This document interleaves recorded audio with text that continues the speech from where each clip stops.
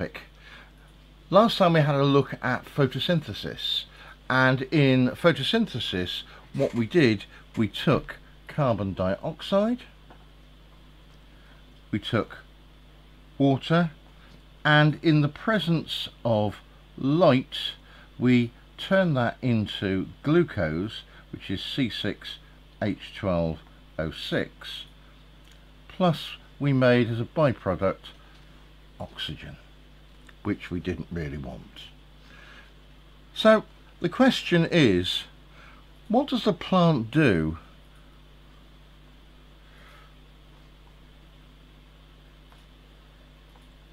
with the glucose? So let's see what actually happens here uh, with the glucose.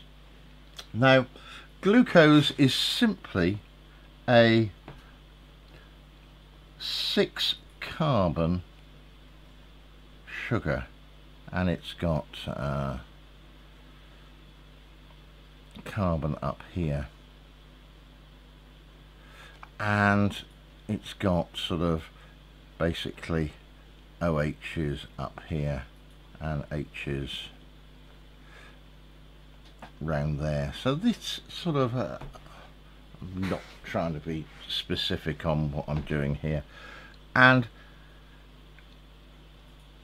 what can we do with this glucose? Well in fact there are two forms of glucose. And the two forms are important just by looking at this bit of piece here. In that when we make this we can either make it with the OH one way up or we can make it with the other way up. And they're called alpha and beta glucose. It doesn't alter really much about the glucose. But what it does do it makes a difference when these molecules combine so if we have most of these glucoses joining together they can either form sort of basically little chains. So what we do is we get a chain of glucoses that might look something like this. And every now and again there are some branches possible on them. Now, if there are branches on them, then it is in fact easier to digest. Now, this representation here is basically more like what you have in the human body, which would be something like glycogen, which is actually made up from all these glucoses. But in plants, the two main uses of glucose are starch and cellulose. Both made from the same glucose molecules joined together. Now, glucose has a problem, and that is it is osmotically active. And what do I mean by that? Osmotically active means that if I've got my cell and I've got a lot of glucose in here, then water from the outside will rush in and the cell will swell. Now, in a plant cell, that's a good thing. But it can be too much and so what the plant can do is it can take this glucose join them together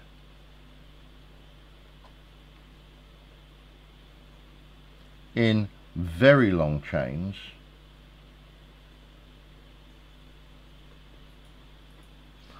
and that makes starch. And starch is basically really not very soluble. And that is a very easy experiment to try and show you because you take some starch and you add some water to it and very little happens. It really won't dissolve very well. And if you want to try this one at home it's a very easy experiment to try and do. You simply take some flour which is basically starch and you try and add a little bit of water to it and get it to dissolve. And it doesn't work very well. It really is a hard job try to get it to dissolve. And even when you do it sort of doesn't dissolve properly really. It's sort of because basically we've got these very long large chains and they're really difficult to try to isolate and from one another and try and get the water around it. it doesn't work very well. So plants make the starch because they can then store it and it is not osmotically active. And this is useful for the plant so it can store this. So basically when there's lots of light plants can make lots of starch. Right now what's the test for starch? Well we've done this before. But I will just mention it again. Test for starch is using iodine.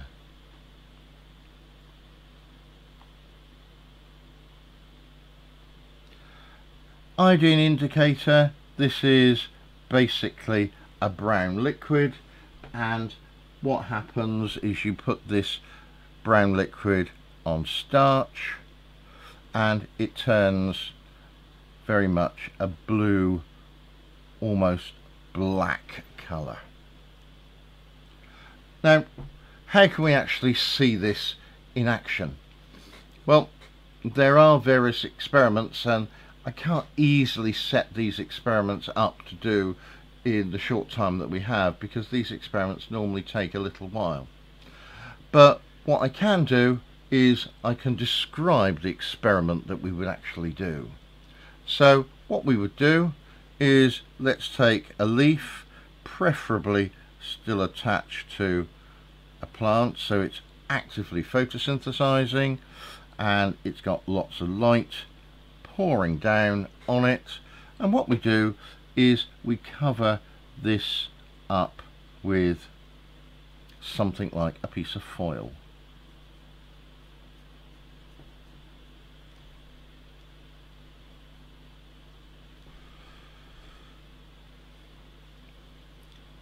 And we leave now this in the sunshine for quite a long time.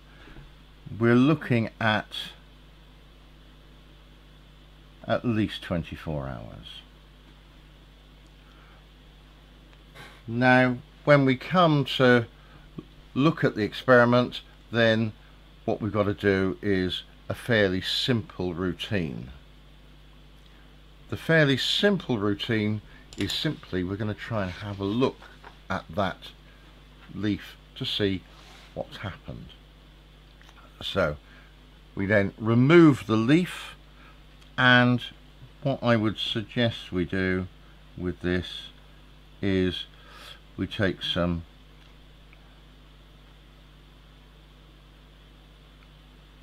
alcohol and basically I want to heat it. Now we have to be very careful whoops trying to heat the alcohol because it's flammable and it can be great fun. So I would normally heat this without a naked flame using something like a hot plate or a heating mantle.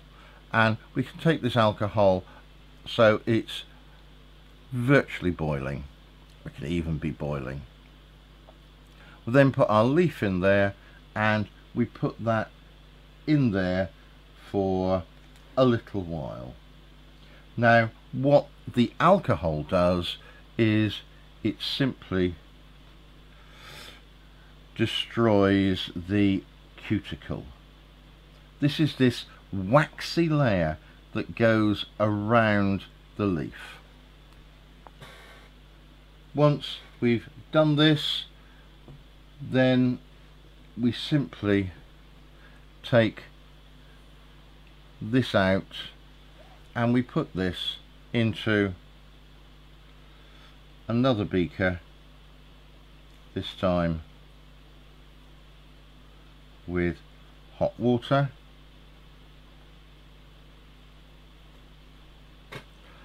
and that is basically gonna try and also soften the plant. The alcohol as well as destroying the cuticle will actually remove a fair bit of the colouring and this is helpful if we're going to try and look at the starch.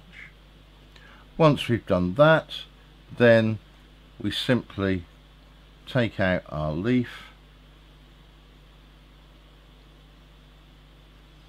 and we add iodine to this and our results should be that the leaf goes a very blue black colour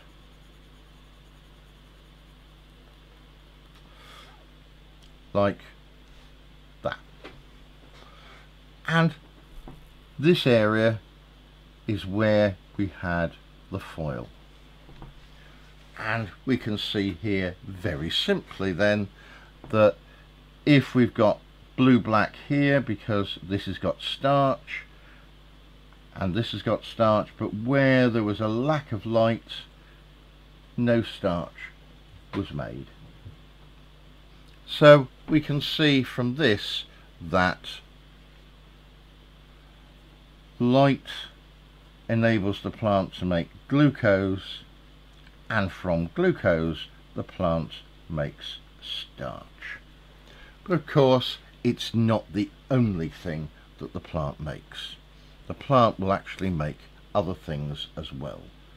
And one of those is cellulose. What's cellulose used for? Well, if we draw out our typical plant cell, then we usually describe around this plant cell a cell wall.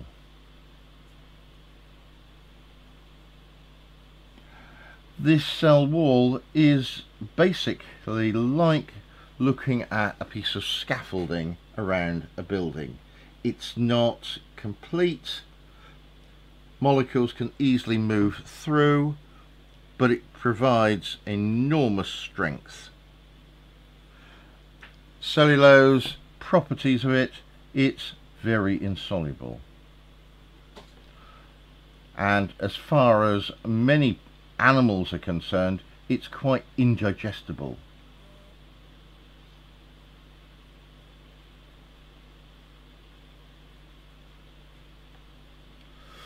And if we have to do that then generally we have to use bacteria to help and this is why if you've got something like a cow the cow as we know eats grass uh, but does it well yeah of course it eats the grass but does it actually digest the grass? And the answer is no, the cow doesn't. You see, what the cow does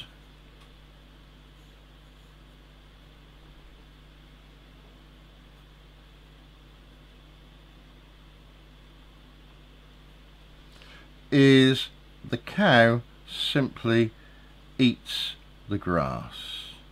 There we are. And as it eats the grass, it goes into here the stomach inside the stomach there are large numbers of bacteria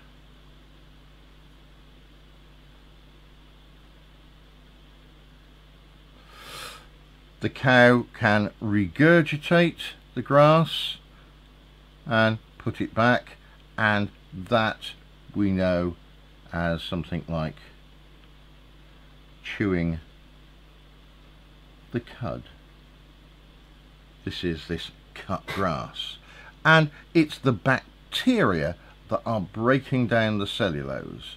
And the cow keeps regurgitating the food until it can tell that the grass is actually turning quite sweet. It's being turned from cellulose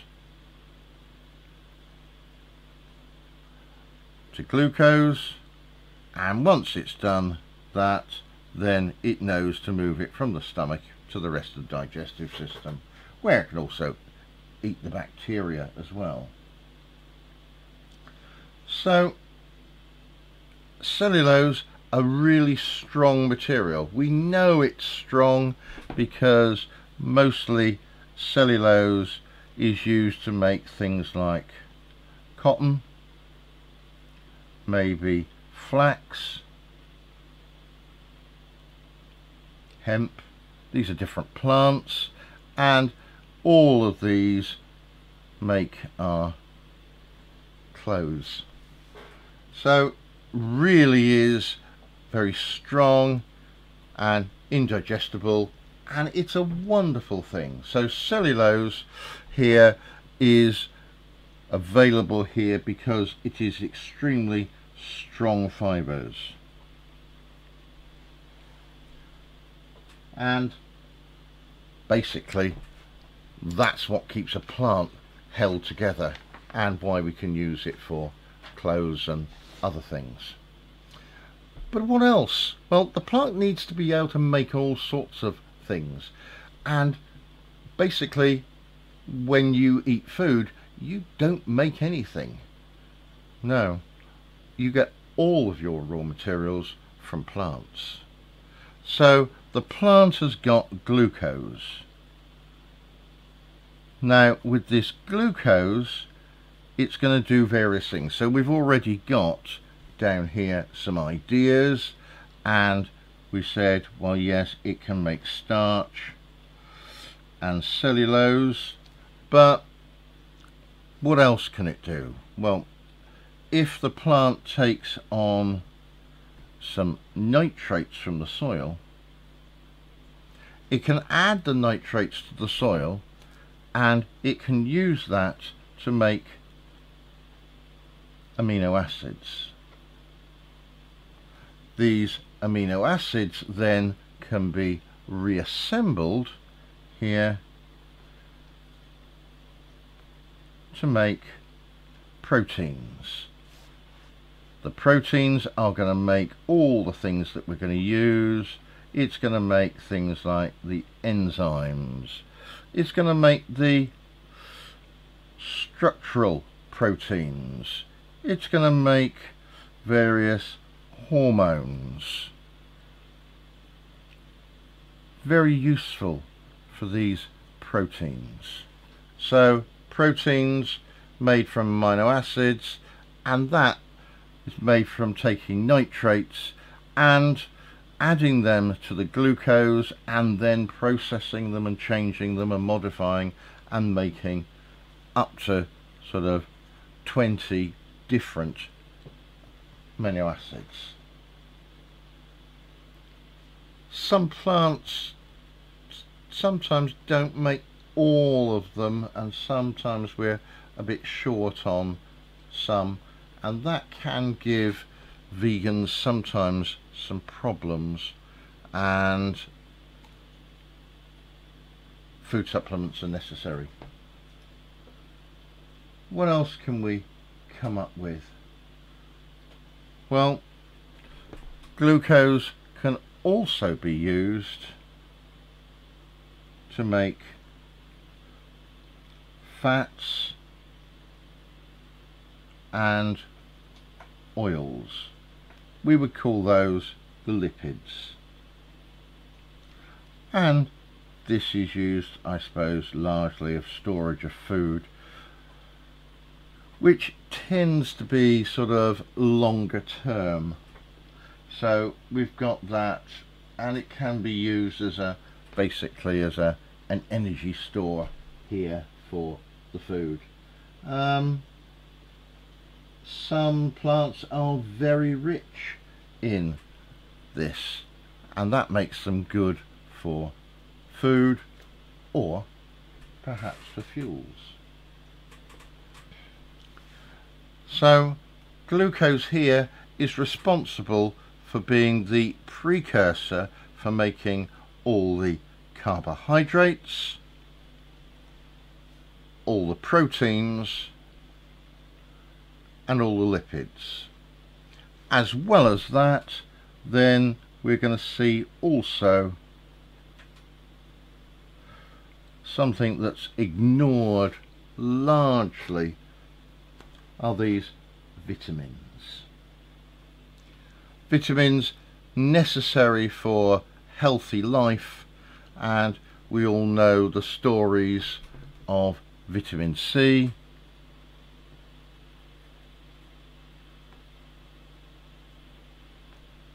and without that the sailors used to get scurvy and that was solved very easily by giving them some fresh fruit to eat. And once they had that problems went away. There are lots of vitamins and they are really fairly essential for healthy living. And you don't make them they're only made in the plants. So you've got to get those vitamins by eating your plants which is why most governments have a thing about eating your five a day or probably now let's call that a seven a day in basically fruit and veg. And it's important because this is the only way that you're getting a lot of your vitamins your lipids and your proteins. There are of course some plants that have problems and they live in very poor places there's not much nitrogen available. And these plants will divide up into perhaps a few categories. So let's mention some of these plants. We have all come across things like I know Venus flytrap.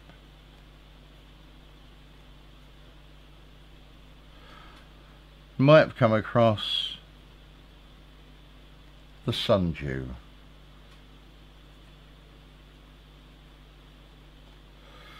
and you might have come across the pitcher plants. All of these are basically what is known as the carnivorous plants.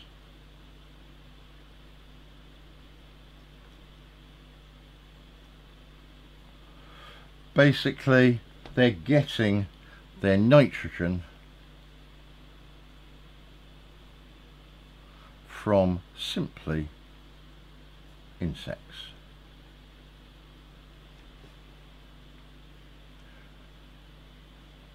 So the Venus flytrap famous because it basically just catches the plant the animal the plant literally can move that fast not surprising really the pitcher plant, a very, very slippery surface and plants fall into the really stinky smelling liquid that attracts them.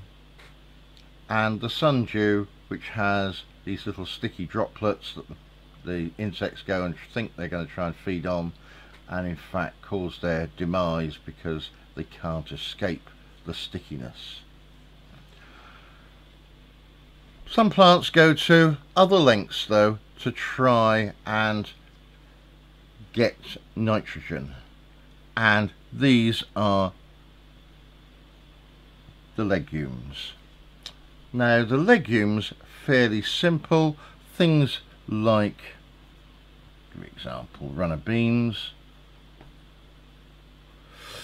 What they have on the roots are nodules. And on these root nodules, they attract bacteria. And more than bacteria, these are nitrogen fixing bacteria. And the plant offers these bacteria a home and in exchange the bacteria fix nitrogen this is from the air and they make from that NO2, NO3, nitrates and the plants benefit by using that. So there are a whole series of different mechanisms plants can use to try and get their nitrates other than directly from the soil. So plants and I suppose algae use glucose in photosynthesis to convert into starch, fats and into proteins.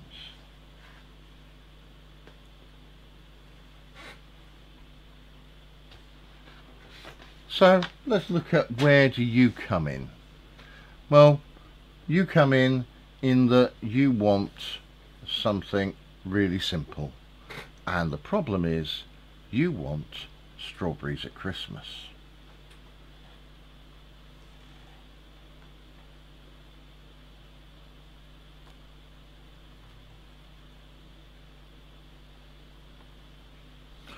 Now let's suppose you want some strawberries. Well, strawberries are available sort of, I would call it a Wimbledon time, sort of June, July. But basically you want these all the year round. So how are you going to do it? Well, we need to try to do something with growing these things. So let's look at simply the garden greenhouse. Many people have these and what are they? So basically they've been around for I don't know a couple of thousand years I suppose really and basically what they can do is they provide shelter and they provide some warmth. So the season can start earlier. So then you might get your strawberries perhaps in April to perhaps August you're trying to help the system. Then what's going on? Well we need to look at perhaps a way of trying to have a commercial greenhouse.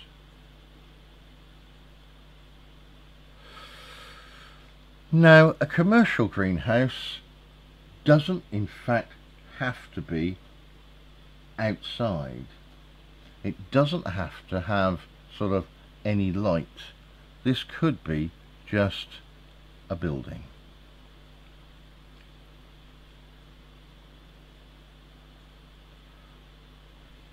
Let's say one with no glass. Right, so what they need to do is they need to provide the water. They need to provide a good supply of carbon dioxide. They need to provide the warmth and obviously they need to provide light.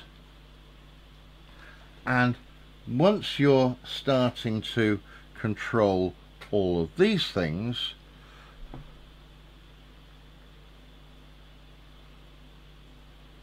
you can control what is the season. Because the plants now won't know what the season is. And so all they do is they grow really as quickly as possible. So here we get from this the fastest growth.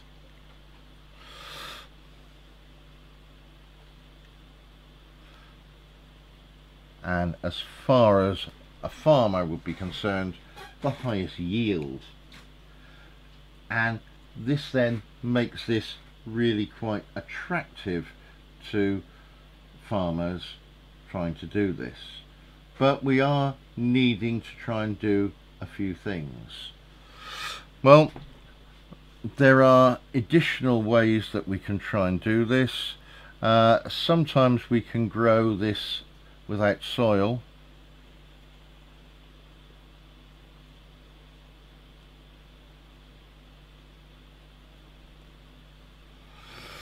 and if you can grow this without soil this is what we call hydroponics. And hydroponics very simply means that we've got a sort of a downhill slide. Sitting on here I've got my various little plants growing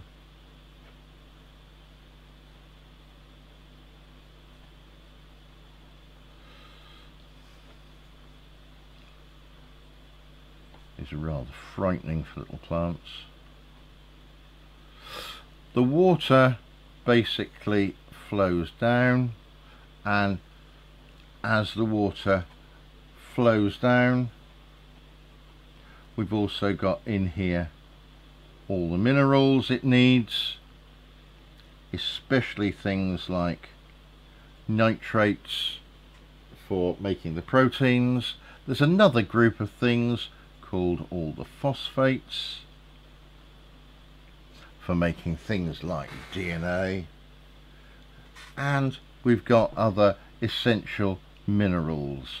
And these are often called NPK fertilizers. If you go to a garden centre you'll often see labels on fertilizers being what sort of thing they are nitrogen, phosphorus and potassium. So we've got all sorts of things here that can be used to help plants grow and what we're doing here as well as providing water, carbon dioxide, warmth, light what we're also doing here is you can simply control pests. If there's no soil, then there's nowhere for them to live. And so we get our plants to grow quite happily. Now, the size of these greenhouses can just be described basically as enormous. They are generally all computer controlled.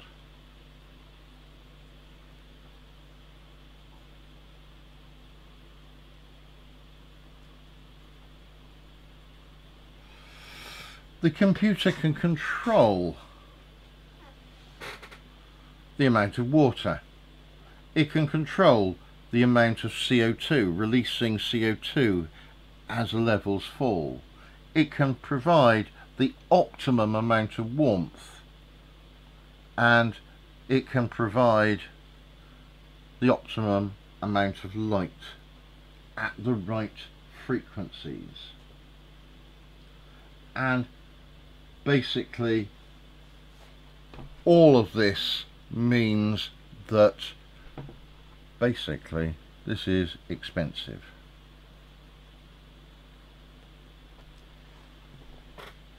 So if we're trying to have all this computer environment control, it's going to cost money. However, there are less staff.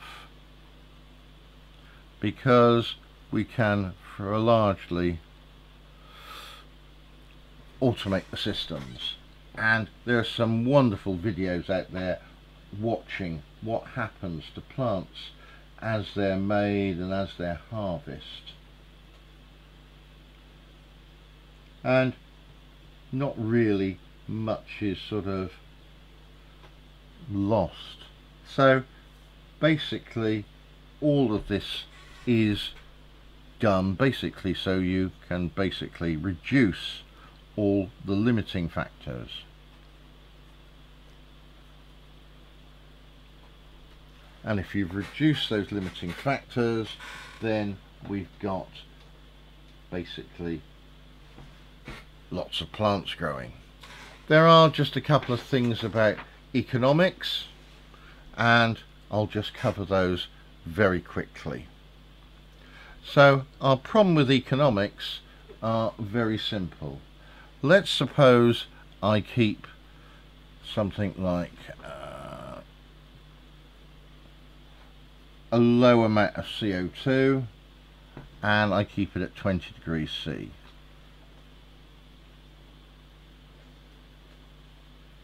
and basically if we measure here light intensity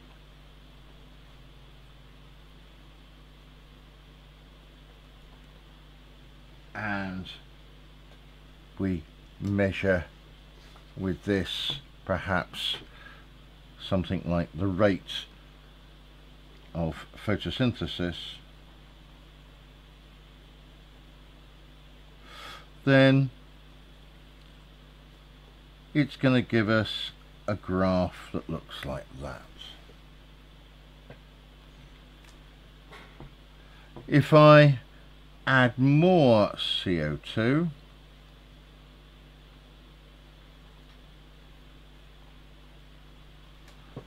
then keeping the temperature the same we're going to get a greater rate of photosynthesis.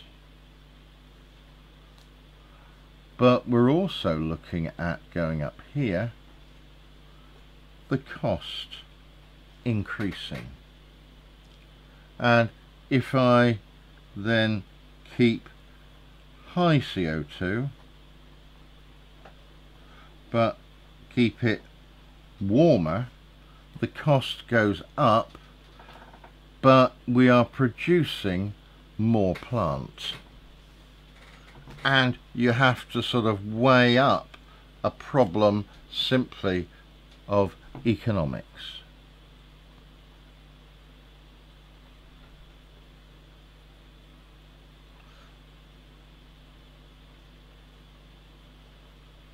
and we're basically looking at what is here the most efficient.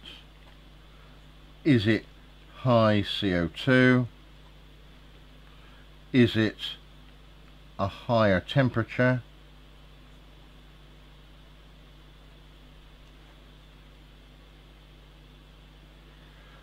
Or is it the amount of light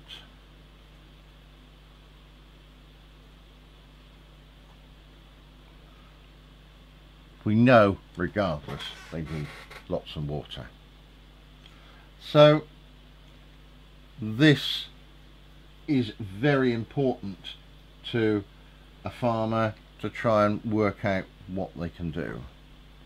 And one of the big problems about growing in a greenhouse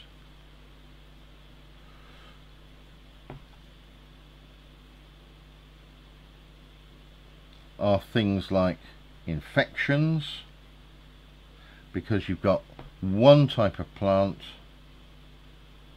and so an infection one infection can take out the whole. So that's not particularly good. So we've got problems with infections and I suppose infestations insects. And so these have to be maintained. And the way to do this is we need efficient cleaning.